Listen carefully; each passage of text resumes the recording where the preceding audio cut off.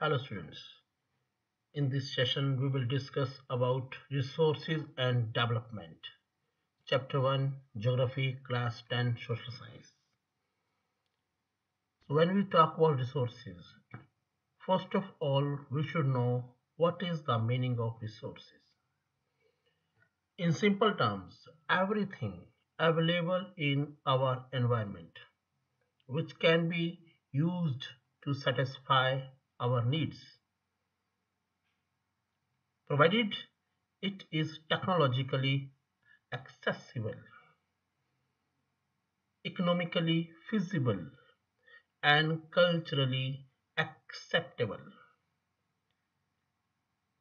So, if something falls into this category, it can be termed as a resource.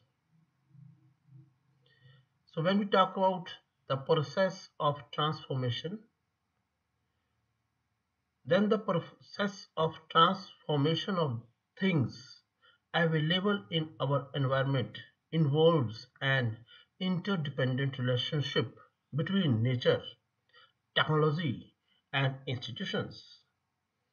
And human beings interact with nature through technology and create institutions to accelerate their economic development.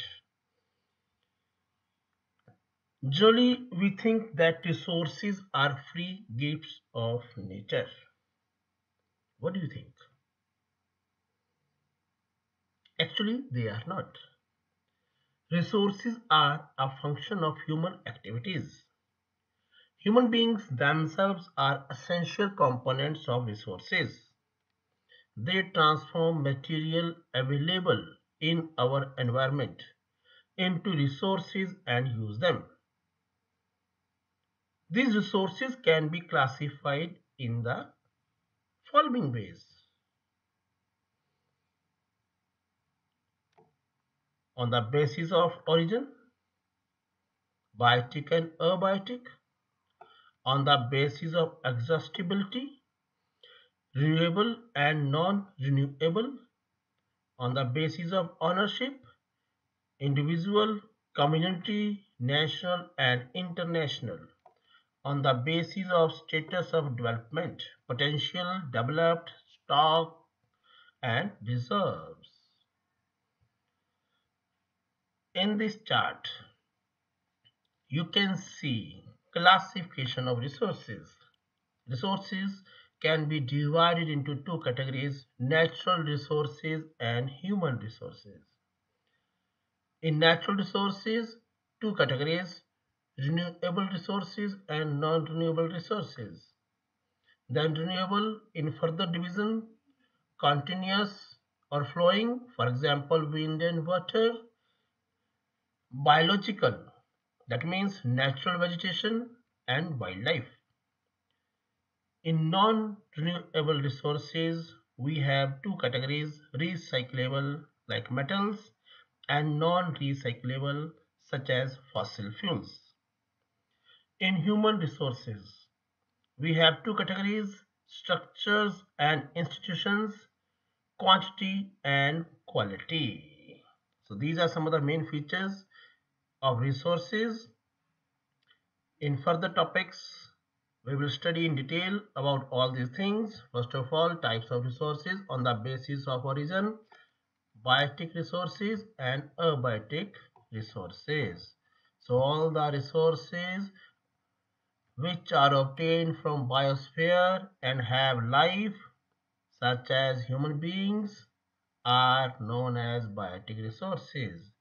All the resources which are composed of non-living things are called abiotic resources, for example, rocks and metals. Second category on the basis of exhaustibility. First one, renewable resources.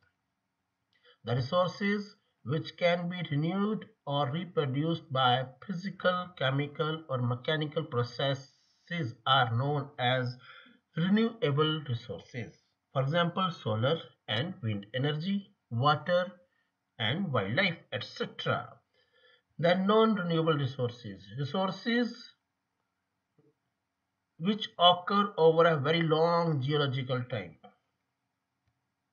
Once they have been used, they are exhausted. For example, minerals and fossil fuels. These resources take millions of years in their formation. The next category on the basis of ownership, individual resources. These are the resources owned by individuals. Many farmers own land which is allotted to them by the government. In villages, there are people with land ownership. In cities, people own plots, houses and other property.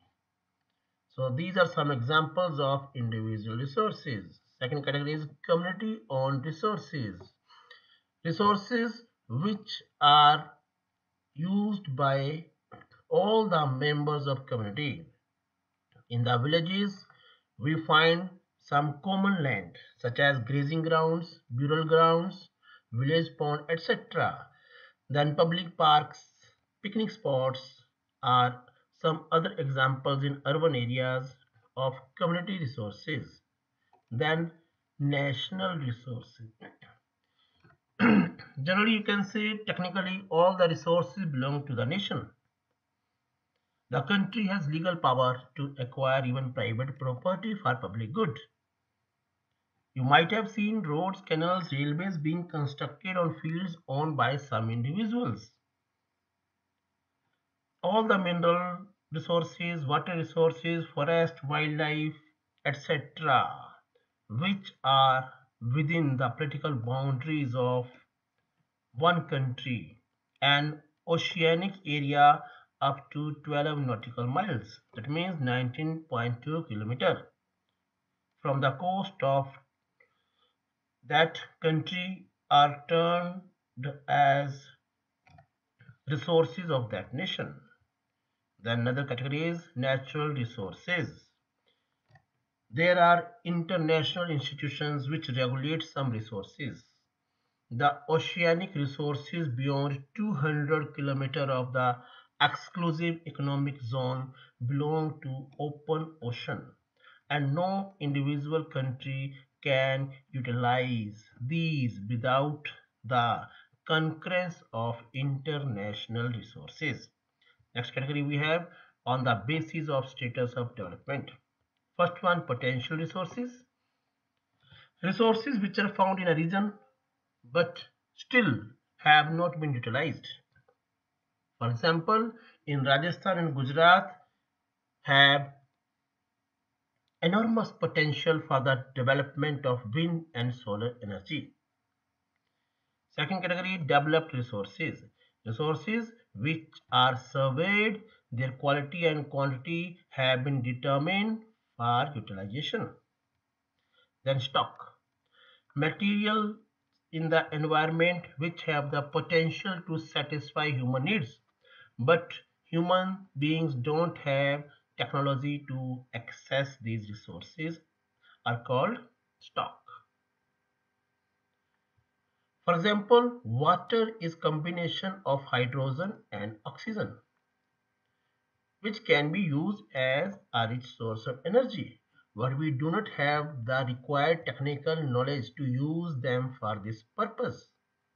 Hence, it can be considered as stock. Then reserves.